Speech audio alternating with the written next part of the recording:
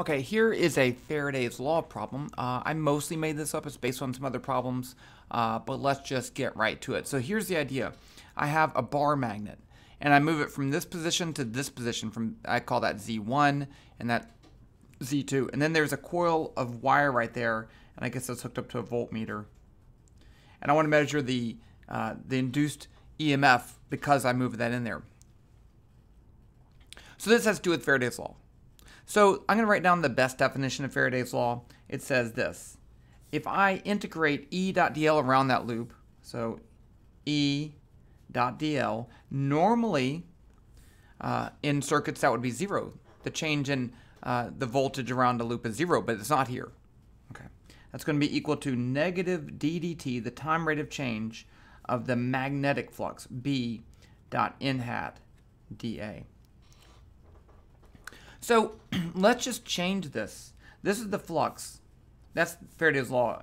But I can write the flux as just, let's call this uh, equals negative d dt of the flux. And in fact, if since we're dealing with finite positions in a time, I'm going to assume that the flux changes at a constant rate. I'm just going to write this as negative delta flux over delta t. So if I can calculate the magnetic flux here, calculate the magnetic flux here, divide by the time, I'm done. Okay, because this is EMF. EMF is E dot dl. That's all I need to do.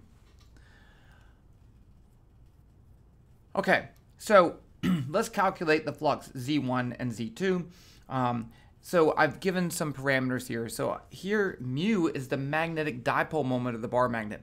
So if I have a bar magnet and I treat it as a dipole, then it has a, a field that looks like an electric dipole. And so this, if we're on the axis of that dipole, I can write B uh, dipole. The magnitude is going to be mu naught over 4 pi. That's the magnetic constant.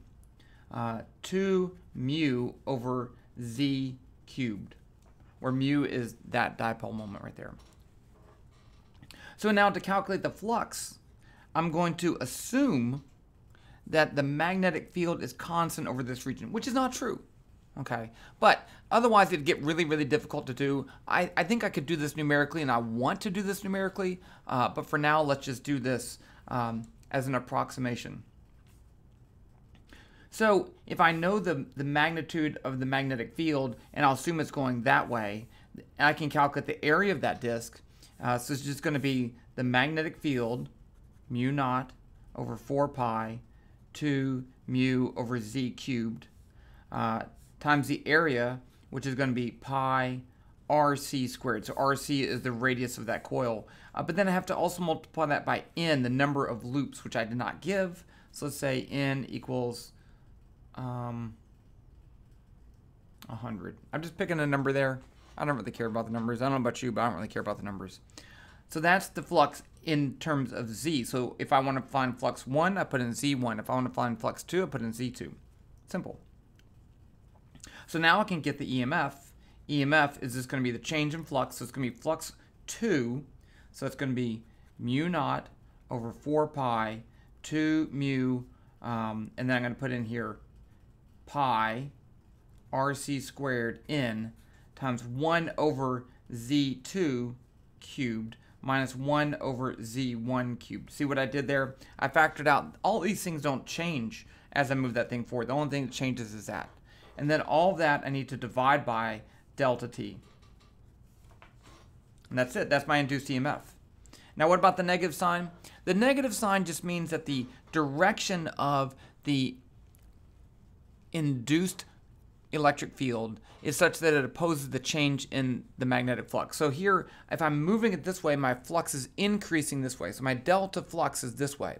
So the coil wants to make an electric current, if it made one, that would make a magnetic field going this way. So using the right-hand rule, that means my electric field would be going uh, into the board right there, out of the board right there. It's not a board, it's a piece of paper. Okay, so I guess I need to calculate this um, into this equation. And uh, I'm not prepared to do that. Let me switch my my uh, my computer over here because I don't want to do this in the calculator because I don't like calculators. I can use Python. So let's just jump over here to Python. All I need to do is type in this equation and then put all my values in and I'll get a, an expression for that. So let's switch over here to Python really quick. computer, there we go. Okay, Python. I've got a I've got a Python script already opened up. So let's just put in all my constants. Km is 1 times 10 to the negative 7th. This is going to be mu naught over 4 pi. Okay, I'm going to call it Km just because it's easier to do it that way. Now I'm going to say n equals 1. I'm just typing in what I have. Mu equals 0 0.7. There's no units here because this is Python. Um, RC equals 0 0.01. Uh, Z1 0 0.15. Z2 equals 0 0.1. DT equals 0 0.2. Okay, so now I can say EMF equals, I'm just going to type in the equation, Km times 2 times mu times pi times RC squared times n. I'm going to put the n on this side because I get, I get scared. Um, all of that, let's see, divided by dt. And then all that, I'll put a parentheses right here,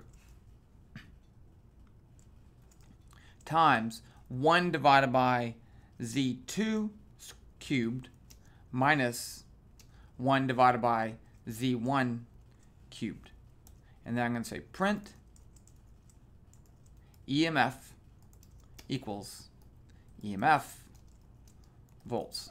And I'm going to run it. And, and maybe you see how awesome Python is for a calculator here, but it is. And so I get a voltage of 1.5 times 10 to the negative fourth volts.